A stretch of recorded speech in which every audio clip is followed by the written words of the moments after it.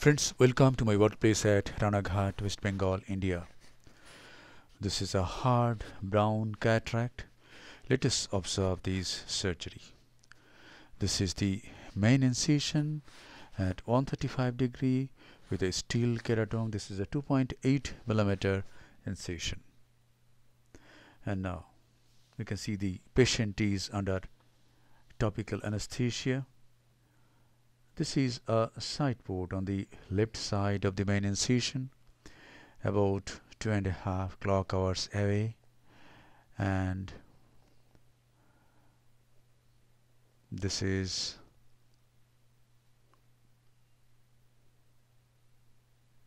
an air bubble and now the anterior capsule is being stained with trypan blue dye. When we apply the dye underneath an air bubble, the staining is immediate. We can wash the dye out after 5 seconds. And see how beautiful staining has occurred. This is a totally unedited recording of about 11 minutes and 30 seconds you can consider that you are watching a live surgery viscoelastic substance has been applied over the cornea and the anterior chamber has been filled up with this visco this is a side port on the right side of the main incision about two and a half clock hours away and now capsulorhexis is to be done. The anterior capsule has been incised. A large capsular tag has been raised. We can see a white band coming from 7 o'clock towards the center. Let us see how it behaves. And yes, I could separate the capsule from this fibrous band. This is a hard cataract, so the rhexis should not be less than 5.5 millimeter. And now the white band will cause some problem unless we cut it right now. So I take a Vannas scissor and trim this fibrous band.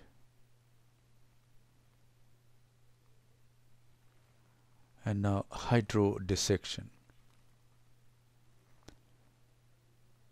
In hard cataracts, we cannot inject a lot of fluid we must inject small amounts of fluid at multiple points.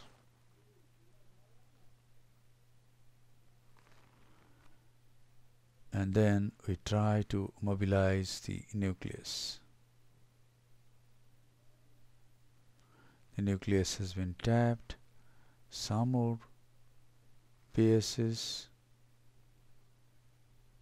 and now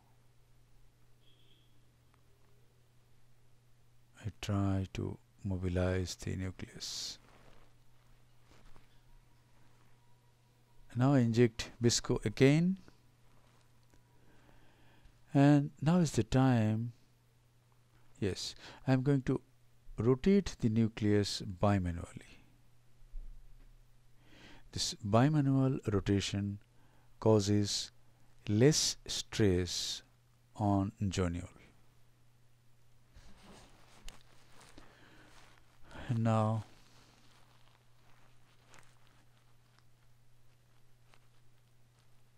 this is the phaco needle. The tip is exposed little more for this hard cataract.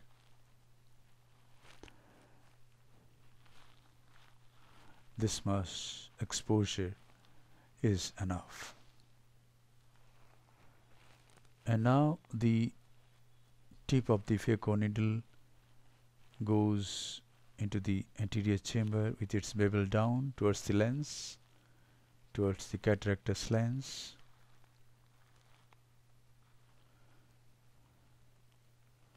Some superficial cortical lens matter is removed. And now in this case we are going to see classical submarine chop this exposed tip will be totally buried into the substance of the nucleus. Here it is.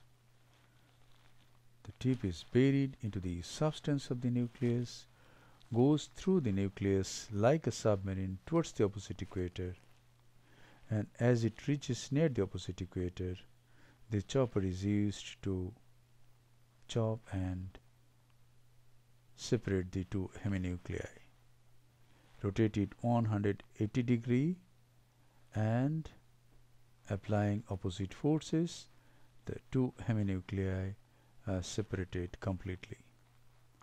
Now each heminucleus is again subdivided. The tip goes again through the substance of the nucleus of the heminucleus and it is subdivided into two fragments like this now rotate come back to the other heminucleus go through the substance of the heminucleus and hold it very firmly and chop it.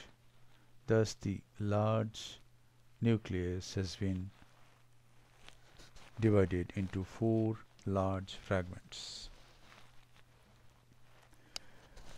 And now let me tell you the settings. PHACO power that is ultrasonic energy used in this case is 85 percent. Flow rate is 45 ml per minute. Vacuum is 450 millimeter of mercury. The ultrasonic energy is delivered in continuous mode and the delivery of the ultrasonic energy is intermittent as I occlude the tip then only I use the ultrasound.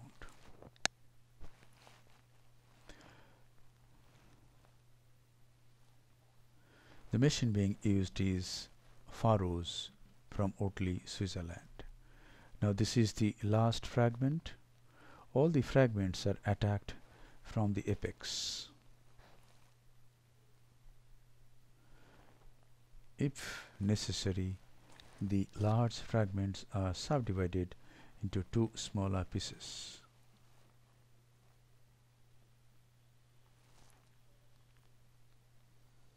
Yes, this is the last fragment.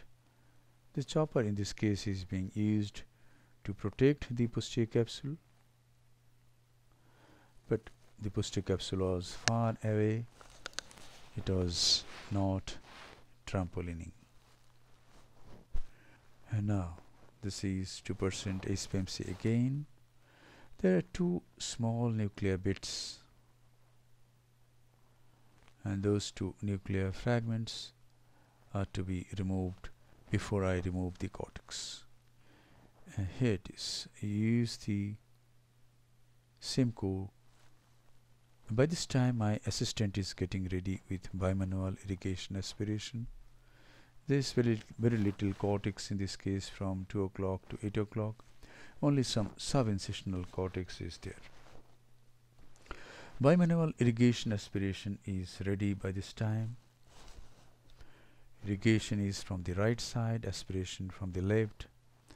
And here it is. I remove the cortex from 12 o'clock and 1 o'clock and 11 o'clock.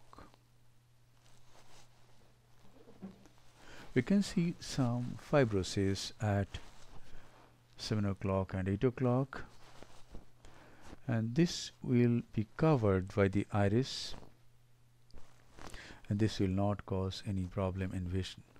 The main incision has been enlarged by 0.1 millimeter because I'm going to use a B cartridge. Uh, this is Superfove from Appasamy Associates. This is a beautiful lens, monofocal single piece aspheric intraocular lens.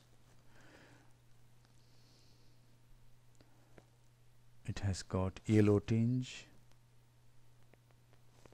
to take care of the ultraviolet rays. Moxie has been applied. And now the side ports are hydrated.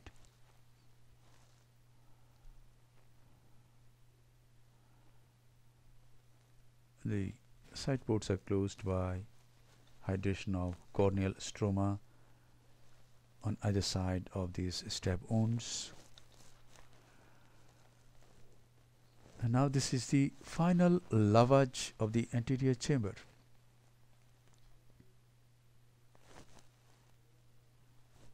And after this lavage the anterior chamber is nicely formed and the case is concluded. So in this case we have seen submarine CHOP very nicely. The anterior chamber is formed and the case is concluded. Thank you very much for your attention hope this video will help you in developing your surgical skills be a great surgeon and serve your patients with love, respect, empathy, and great surgical competence.